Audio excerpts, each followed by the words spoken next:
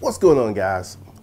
Two weeks ago, I applied for the EDIL loan and the PPP loan. Today, I got $150,000 from the EDIL loan, and the PPP loan is waiting in limbo.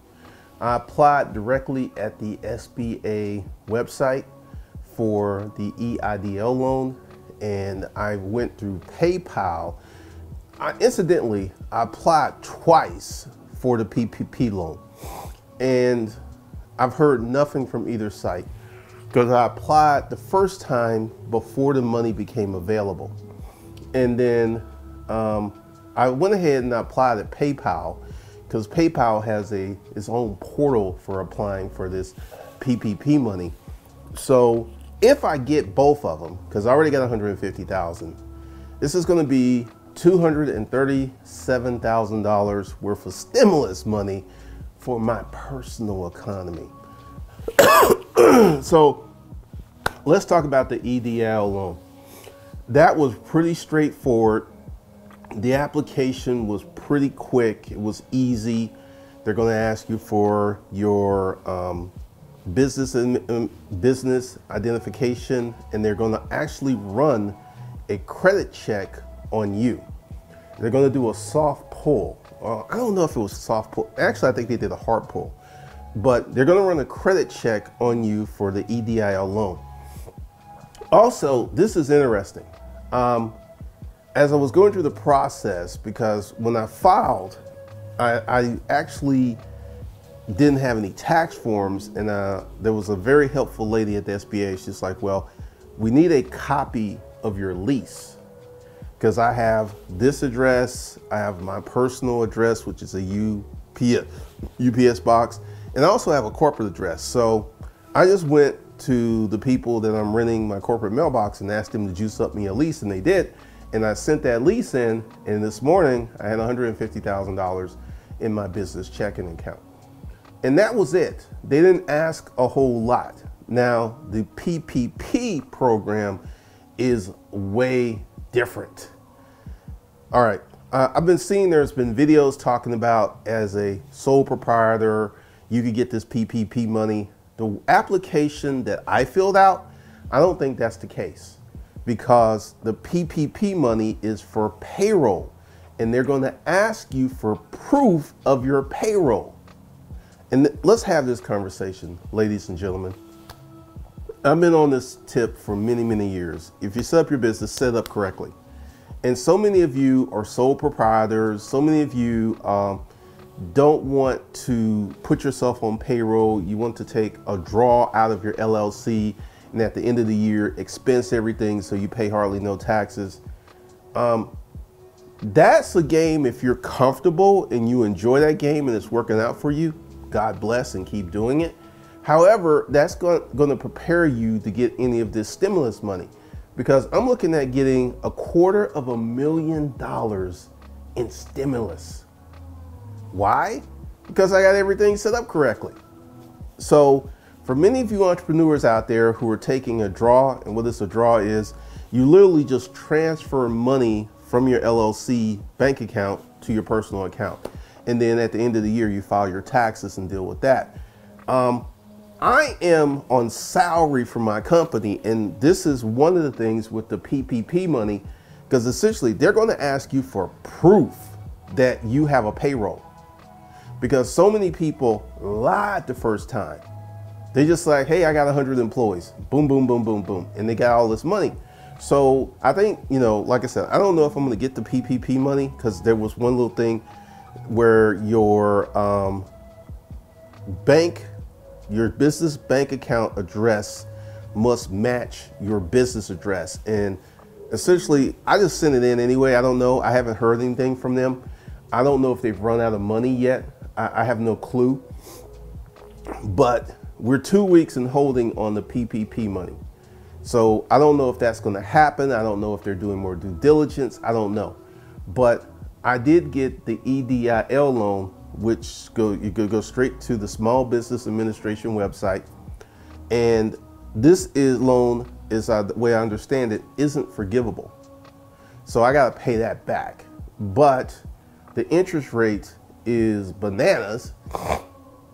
I mean, literally, if you were to walk into a bank and try to get a loan for $150,000, it's going to take a lot. I mean, it is this the easiest business loan that I've ever gotten in my life. Other, well, actually, that's not true. I've gotten a, a PayPal loan, which was really easy. PayPal loan literally took five minutes. I got a Stripe loan, which literally took one day. So essentially, you know, I've getting people who are asking me questions about the corporate toolbox. Now, here's one thing. I am not going to teach you guys how to lie. And, you know, when I got the EDL loan, I told them the straight up truth. And I remember talking to the lady at the Small Business Administration. I was like, well, we did not file taxes that year because we were recouping our capital expenses. So, you know, she didn't even bat an eye at that because essentially we did not have, because they're going to ask for tax forms for your business. And we didn't have them. So I'm not going to teach you guys how to lie or game the system or anything because I, I, had someone that asked me who wanted to jump in the corporate toolbox and he was asking for this information and I just told him the truth that there's none of this information in there because essentially I'm not going to teach you how to lie and manipulate, uh, you know, because essentially who knows what's going to happen in the future when that comes back on you. So we're not going down that road. But right now, as I understand it, the Small Business Administration still has money, and I got $150,000 this morning. And what I'm to do is add that to my payroll. I essentially just transferred that 150 straight up to my payroll account, and I'm just going to pay myself. That's that's what I'm to do with it. So essentially, let's talk about proper business organization, business structure. I started my holding company two years ago, and I just really started using it um, August. So August, September, October, November, December. Made close to four hundred thousand dollars doing that. Um, so essentially, for me, because many of you have questions about at what point do you put yourself on payroll? When are you making money? Because, see, there are so many people who are in that getting off the ground stage. Let's call it that. Just getting off the ground, getting things going, getting things rolling. And that's a hard, hard stage. Um, literally, when I started this YouTube business, online course business, digital publishing business, I did not make money. I started this in August 6, 2009. August, September, October, I released the book. And pretty much, I would have been in a position to put myself on payroll for about almost two years because the income was inconsistent. Like my first year, I made 62,000. My second year, I made 92,000. And that third year, I could have easily put myself on payroll because I did 1.5 million but I didn't even do it because I was one of those, you know, just taking a draw and paying my bills that way. So, one of the things I teach you in the corporate toolbox is how to properly set this up. So, essentially, I think there's, I'm going to do some research today. I think there's some more money I can potentially get. I'm not sure because I've seen a lot of YouTubers who are making videos for clicks because I've seen a lot of information now that I have applied for the EDIL loan and I've applied for the PP loan that is 100% incorrect. Because if you cannot show proof of a payroll, they point blank ask you for proof of your payroll. So all I did was just copy my ADP information. I did the screenshot of my ADP showing my actual payroll. So I don't see how you're going to get this money as a sole proprietor.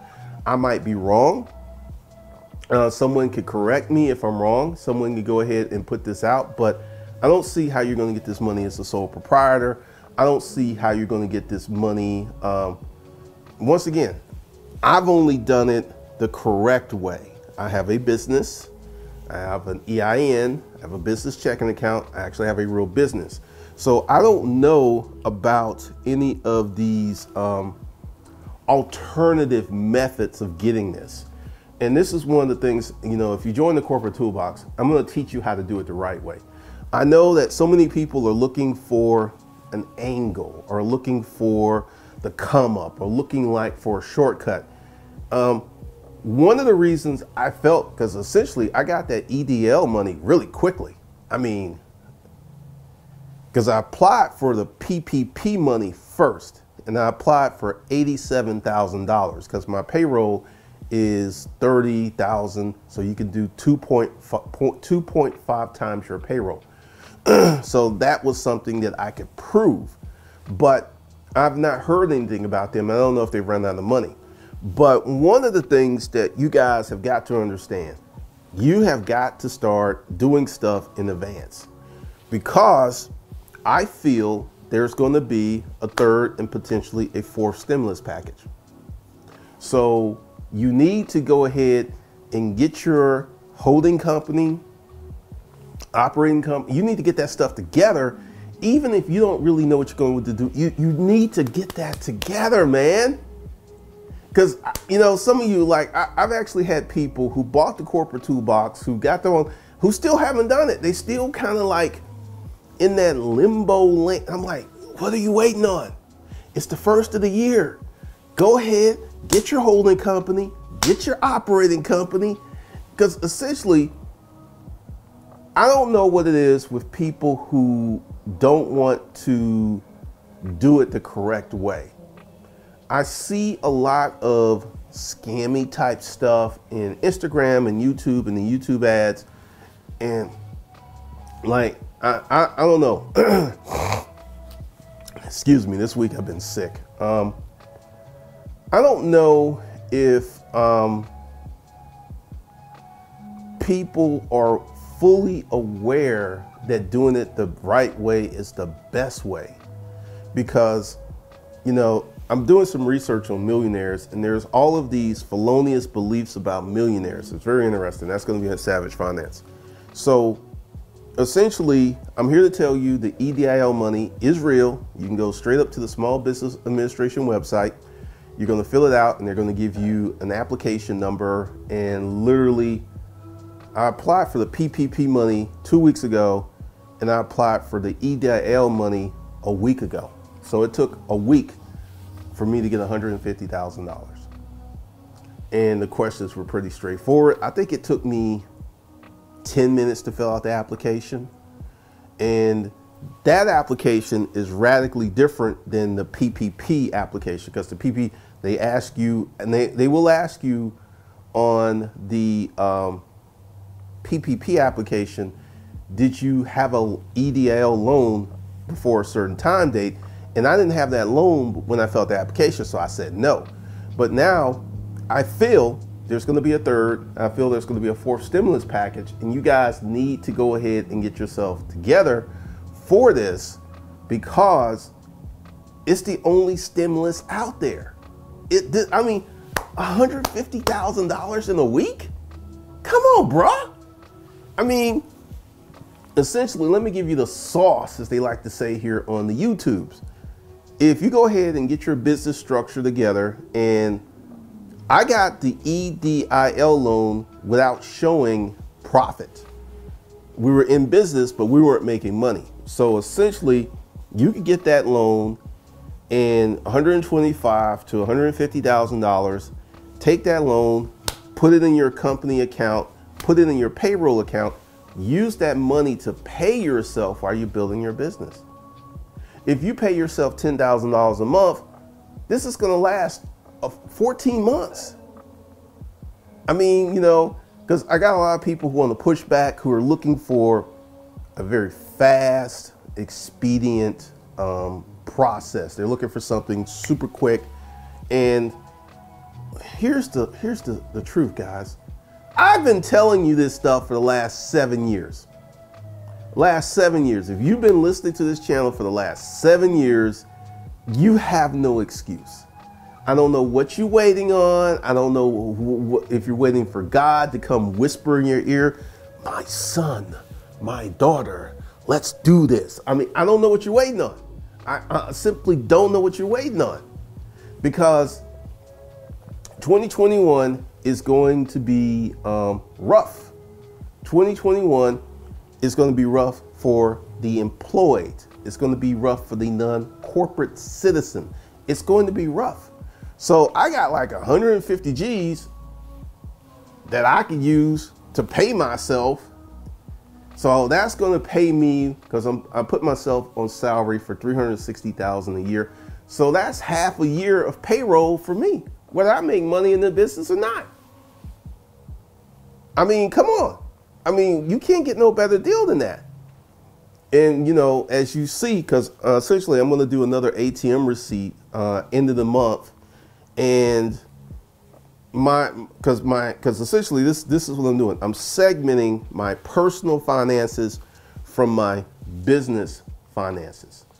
There, there there's a firewall. This is business. Uh, essentially, I did get my third business credit card, Topago, which is like I have the Divvy credit, the Divvy charge card, the Tobago charge card, and the Wells Fargo credit card. So I have three business credit into you know resources right now, and Divvy and Tobago are charge cards like American Express.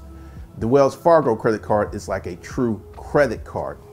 And as we go through this year, I'm going to get some more business credit cards because essentially I have like, hold on a second.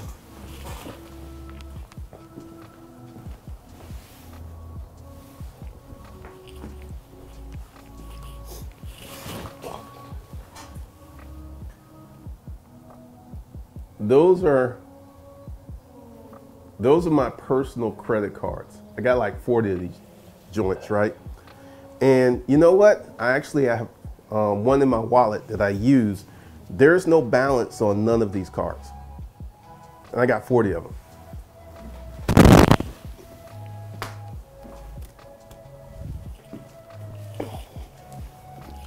So essentially, what I'm doing is I'm being really judicious because every month I'm doing an audit of my business. So I don't have to do this come tax time. So all you know, because essentially in my taxes for 2021, I'm gonna be ready because this time 2020, I got a little work to do.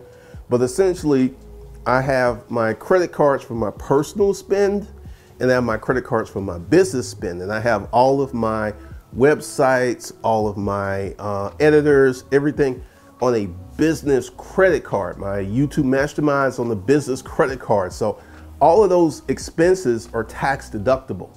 And I'm gonna have them neatly on a statement so I can just pull up the statements, add it all up.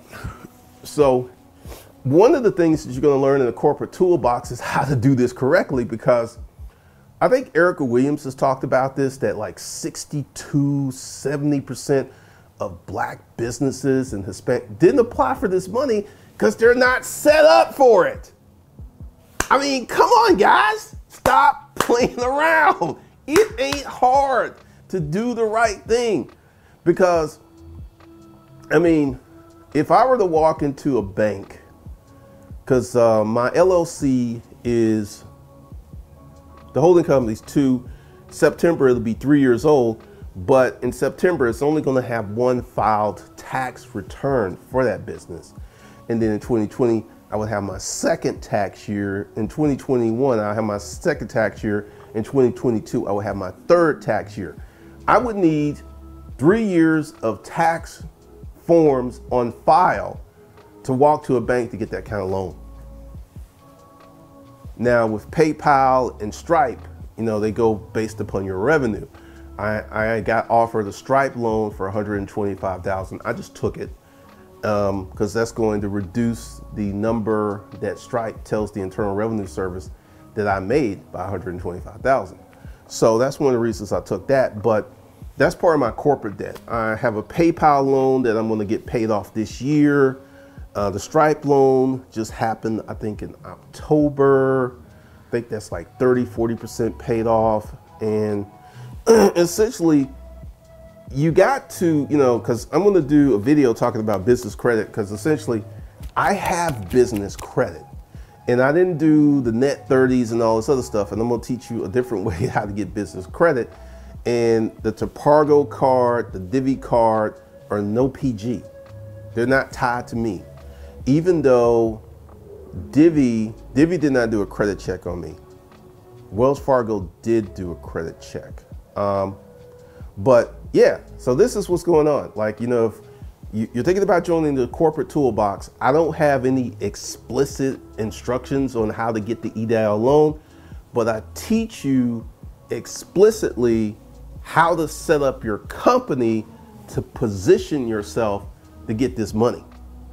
Because if I get the 87,000 from PayPal and the 150, that's almost my salary for a year. Whether I make any money or not. I want you to think of that. That's that's a beautiful concept. It's a beautiful concept. And one of the things that um, I want you guys to understand is you got to be positioned to play the game. And you, are going to need these corporate entities. You're just going to need them. And, you know, being the sole proprietor, like there's a video on this, like why you don't need an LLC. Um, I have heard, I don't know, I'm to be clear about that. I don't know if you can get this loan as a sole proprietor. I don't, that's not the way that I got it. So I don't even know about that. I don't know how true that is, but I do know I have seen a few videos that I have no personally or factually incorrect because of the filling out the applications. You cannot get this because they're going to ask for proof of your payroll. Proof of your payroll. It's explicit. It's like, all right, we need to see what your payroll is and you need to provide proof. How are you going to get around that as a sole proprietor unless you have put yourself on payroll with ADP? How are you going to get around that, bro? How you gonna get around that? So that's what's going on. If I get the PPP money, because we're two weeks in holding, uh, I may call them today and see what's going on. I'll do a video about that, but it's real. This money is real. I got $150,000 in a week. In a week. And I didn't lie about nothing. I told no fibs. I told no half troops. I was like, this is what I got. And essentially, with this little hiccup where I had to provide a copy of my lease, I just went to the folks and I had them strike me up a lease. And I emailed them a copy of that, and booyah, I got my money. So let me know your thoughts and concerns, and I will see you guys in the next one. And oh yeah, like for the guys in the corporate toolbox, I'm really sorry about yesterday. Like I was, man, beat down. And I kind of feel okay now, but I don't know if it's to hit me again. So we may try to do that today. If not, we'll be back in the saddle again next week. So with that, we'll talk to you guys in the next one.